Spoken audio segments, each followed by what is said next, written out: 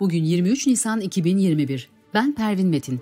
Kısa Dalga güzel günlerdiler. Özge Mumcu Aybars editörlüğünde hazırlanan Kısa Dalga Bülten başlıyor. Kripto para borsası TODEX'in kurucusu Faruk Fatih Özer'in yaklaşık 2 milyar dolarla yurt dışına kaçtığı belirtildi. Özer hakkında nitelikli dolandırıcılık, suç örgütü kurmak suçlarından soruşturma başlatıldı. Savcılık dosya için gizlilik kararı verdi. Kolombiya'da 2017 yılında yapılan Sosyalist Enternasyonel toplantısı nedeniyle CHP Genel Başkanı Kemal Kılıçdaroğlu, sanatçı Levent Üzümcü, DİSK Genel Başkanı Arzu Çerkezoğlu ile bazı eski CHP milletvekilleri hakkında terör soruşturması yapıldığı ortaya çıktı. Cumhurbaşkanlığı kararnamesiyle görevinden alınan Ticaret Bakanı Ruslar Pekcan'a ait Nanoxia adlı şirketin bakanlığa piyasanın üzerinde bir fiyata dezenfektan sattığı ortaya çıktı. Bakanlığa 175 TL'ye verilen 5 litrelik dezenfektanın aracıya 100 TL'ye satıldığı belirtildi.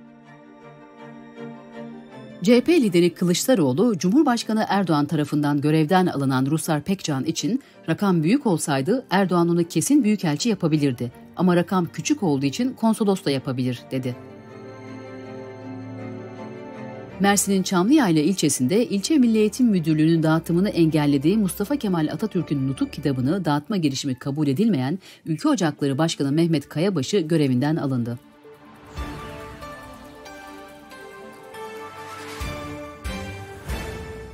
Ankara Cumhuriyet Başsavcılığınca 104 emekli amiralin hazırladığı bildiriye ilişkin başlatılan soruşturma kapsamında ifade vermeleri için tebligat gönderilen 7 kişiden emekli 5 amiral ile bir general Ankara Emniyet Müdürlüğü Terörle Mücadele Şubesi'ne geldi.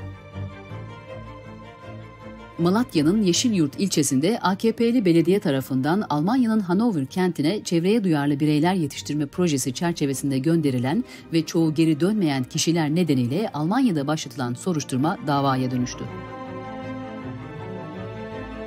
HDP Grup Başkan Vekili Meral Danış Beştaş, pazartesi günü başlayacak 108 sanıklı Kobani davasının HDP'yi kriminalize etmek, terörize etmek, siyaset dışına itmek için hazırlanan bir proje olduğunu söyledi.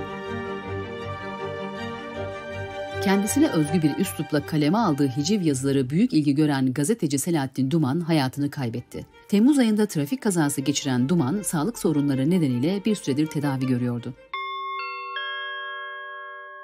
Covid-19 haberleriyle devam ediyoruz.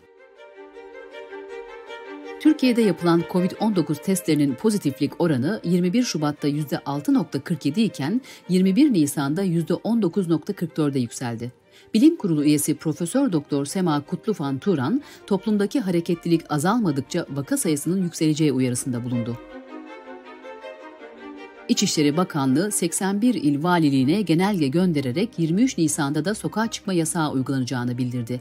Bugün ve hafta sonu Türkiye genelinde kısıtlama kararları geçerli olacak. Rize'deki Recep Tayyip Erdoğan Üniversitesi Tıp Fakültesi Tıbbi Mikrobiyoloji Anabilim Dalı öğretim üyesi doçent doktor Ayşegül Çopur Çiçek, testlerde artan vakalar aynı soy isimlerde kümeleniyor, aile içi bulaşlar çok fazla dedi. Bilim Kurulu üyesi Profesör Doktor Ateş Kara, çocukların aşılanmasına ilişkin yetişkinleri bu süreçte öğrenme basamağında kullandık. Baktık ki onlarda her şey olumlu gidiyor, herhangi bir sıkıntı yok. Bundan sonra artık çocuklarda uygulanabilir tarafına doğru geldik dedi. Hindistan'da son bir günde 314.835 yeni Covid vakası tespit edildi. Ülkenin birçok yerindeki hastanelerin oksijeninin tükenmek üzere olduğu belirtiliyor. Sırada ekonomi haberleri var. Tüketici Güven Endeksi Nisan'da %7.5 azalarak 80.2 oldu. Ekonomik durum beklentisi de 12 puan azaldı. 200 puan üzerinden hesaplanan endekste 100 puan altı ekonomiye güvensizlik anlamına geliyor. Dolar dün gün içinde 8.36 TL'yi de gördükten sonra 8.31 TL seviyesinden işlem görmeye başladı. Uluslararası haber ajansı Reuters, ABD Başkanı Joe Biden'ın 24 Nisan'da Ermeni soykırımı ifadesini kullanacağı yönündeki beklentinin doları yükselttiğini yazdı. Arçelik'te 7 yıl boyunca montaj bandında çamaşır makinesi üreten işçi, açtığı meslek hastalığı davasında 15 bin lira manevi tazminat kazandı. Yaz aylarını kalabalıktan uzak, izole şekilde geçirmek isteyenler büyük bir parayı gözden çıkarmak zorunda kalıyor. Çeşme, Bodrum, Marmaris gibi tatil bölgelerinde sezonluk kiralar 400 bin liraya ulaştı. Dış politika ve dünyadan gelişmelerle devam ediyoruz. Amerikan medyası ABD'li yetkililere dayandırdığı haberlerde Başkan Joe Biden'ın Ermeni soykırımını tanıyacağına ileri sürdü. Amerika Birleşik Devletleri Savunma Bakanlığı'nın Türkiye'nin F-35 programından resmi olarak çıkarıldığına ilişkin Ankara'ya bildirimde bulunduğu belirtildi. İsrail, Suriye'nin Negev çölündeki gizli bir nükleer tesise hedef alan füze saldırısına karşılık verildiğini açıkladı. İsrail savunma sistemlerinin Suriye'nin SA-5 füzelerini etkisiz hale getirememesi tartışma yarattı. Rusya Federal Uzay Ajansı Başkanı Dmitri Rogozin, ABD ile işbirliği yaptıkları uluslararası uzay istasyonundan ayrılarak kendi istasyonlarını kurmak istediklerini açıkladı. Nobel ödülü sahipleri iklim zirvesine katılacak liderlere mektup gönderdi. Tıp, fizik, barış ödülü gibi kategorilerde ödül almış çok sayıda imzacı, fosil yakıt kullanımını durdurun çağrısı yaptı. Bültenimizi kısa dalgadan bir öneriyle bitiriyoruz. Profesör Doktor Gökhan Özartın'a göre iklim krizi tarım ürünlerinin biyoyakıt olarak kullanılması, salgınla birlikte ülkelerin üretimi sınırları içinde tutması gıda fiyatlarını etkiliyor. Doğacan Oruçoğlu ve Neval Ceren İlknur'un podcastini kısa dalga.net adresimizden dinleyebilirsiniz.